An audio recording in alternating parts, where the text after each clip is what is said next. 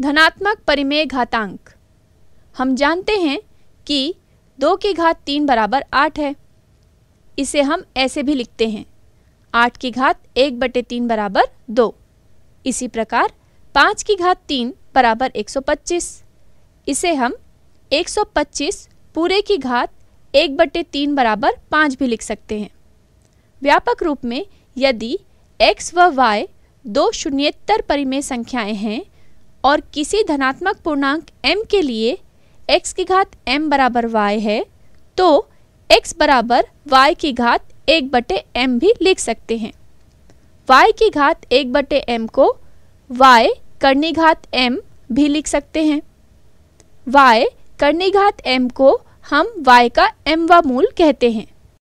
जैसे 9 का दूसरा मूल बराबर वर्गमूल 9 बराबर 9 का दूसरा मूल बराबर तीन। अन्य उदाहरण देखें तो यदि किसी घन का आयतन चौसठ घन इकाई है तो उसकी भुजा चौसठ की घात एक बटे तीन इकाई होगी।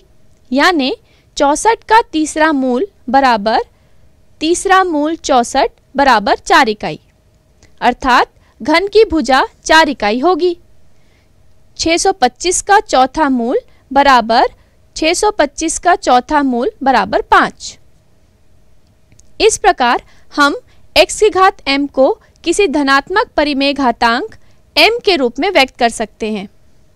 यदि x एक धनात्मक परिमेय संख्या है तथा m बराबर p बटे क्यू एक धनात्मक परिमेय घातांक है तो x की घात p बटे क्यू को हम x की घात p के क्यूवे मूल के रूप में परिभाषित कर सकते हैं। जैसे, यदि किसी गोले का आयतन चार बटे तीन पाई गुणित 125 है, यानी आर की घात तीन बराबर 125 है तो उसकी त्रिज्या होगी आर बराबर 125 का तीसरा मूल बराबर 125 की घात एक बटे तीन बराबर पाँच की घात तीन पूरे की घात एक बटा तीन।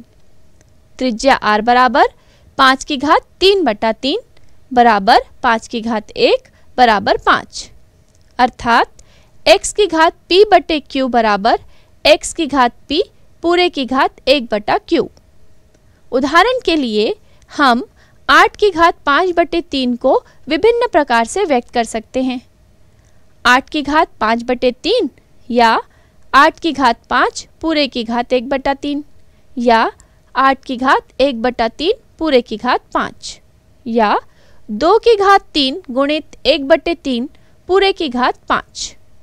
या दो की घात पाँच, या बत्तीस। अर्थात, यदि x एक धनात्मक परिमेय संख्या है तो किसी भी धनात्मक परिमेय घातांक p बटे क्यू के लिए x की घात p, पूरे की घात एक बटा क्यू बराबर x की घात एक बटा क्यू पूरे की घात p